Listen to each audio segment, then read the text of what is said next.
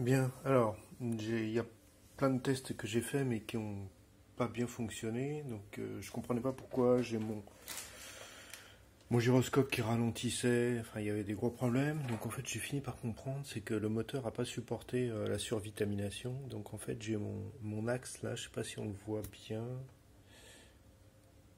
Ah, c'est pas évident, c'est on l'a mis au point. Voilà j'ai mon axe qui se balade.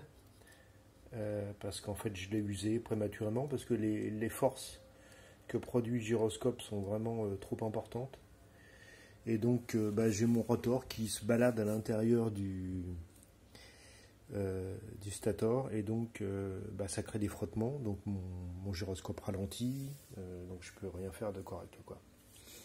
Donc été un petit peu, un petit peu optimiste sur le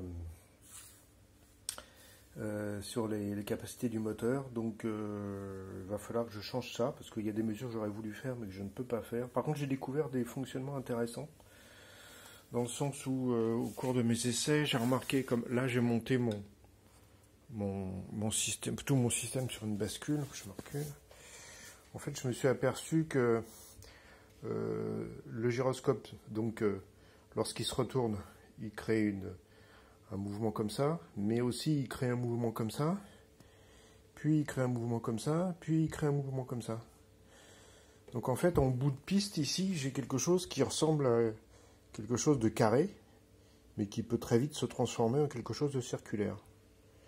Voilà, comme ça, dans un sens ou dans l'autre, selon le sens de... Voilà. Donc j'ai pu remarquer ça, j'ai pas pu le filmer parce que j'ai mon gyroscope qui, euh, qui s'est mis à déconner et à ralentir... Euh, fortement. Donc ma, constatation a été assez éphémère. C'est dommage parce que je trouve ça intéressant comme, fonctionnement. Donc là, il faut que je réfléchisse. Soit je modifie ce, gyroscope en lui mettant un moteur euh, différent. J'en ai plein qui traînent là, comme je démonte plein de matériel, j'en ai plein qui traînent, je vais voir. Soit je refais un système avec un gyroscope plus, plus gros, tel que c'est que j'ai utilisé euh, dans les systèmes que j'avais avant. Je vais voir ça.